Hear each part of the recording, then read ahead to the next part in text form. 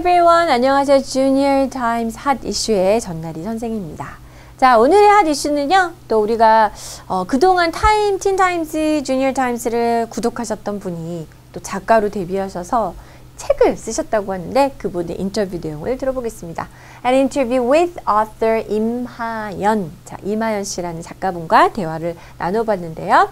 여기 표지가 나와 있죠. 네, 이거 제목을 들어본 것 같은데 17 그때처럼 이런 책도 쓰시고 또 다른 책도 쓰셨다고 하네요. 자, 볼까요?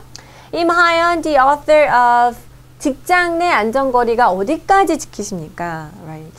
자, 17 그때처럼 이런 책들을 쓰신 작가분이신데요. has been a long time reader of the Teen Times. Teen Times를 오랫동안 구독해 오셨다고 하네요. 자, 타임스코어하고 인터뷰 형식으로 진행된 기사죠. In your opinion, what is one of the most effective ways to learn English?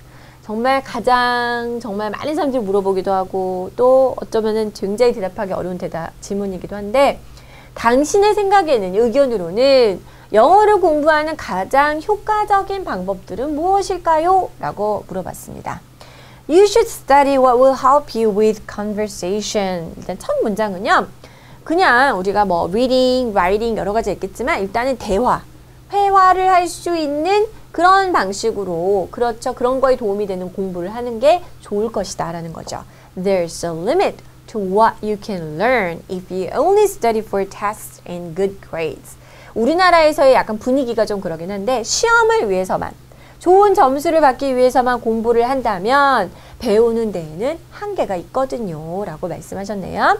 Familiarize, uh, familiarize yourself with advanced vocabulary and understand the nuances. 자, 일단은 우리 자신을 좀 익숙하게 한다는 거죠. 친숙하게. 많이 접해서. 그쵸? 그래서 좀 너무 쉽고 간단한 게 아니라 굉장히 고급 어휘, 그리고 뉘앙스의 차이. 그냥 이거는 무슨 뜻이야 라고 이렇게 외우지, 암기하지 말고 뉘앙스를 알 수 있는 그런 공부를 하세요. In order to do so, 그러려면 어떻게 될까요? You must not be afraid to speak in English. 영어로 말하는 거를 두려워하면 안 되고요. And you must try to understand the culture of that country. Yes, I absolutely agree. 그 나라의 문화와 language 뭐 여러 가지 게 다 사실은 연결이 되어 있거든요. 그렇기 때문에 그곳의 문화를 이해해야만 한다. Imagine you're from there.